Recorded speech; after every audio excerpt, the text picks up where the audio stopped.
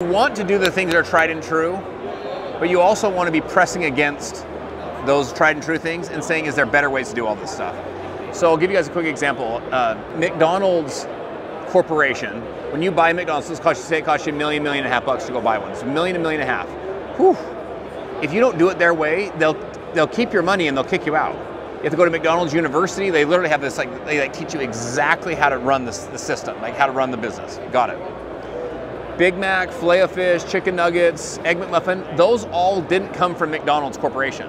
Those all came from like independent franchise owners. So in other words, they pressed against the system and like figured stuff out in their independent little store, called the company are like, hey, we found this thing called like egg muffin and I don't know, seems like it could be good. You know, what do you guys think?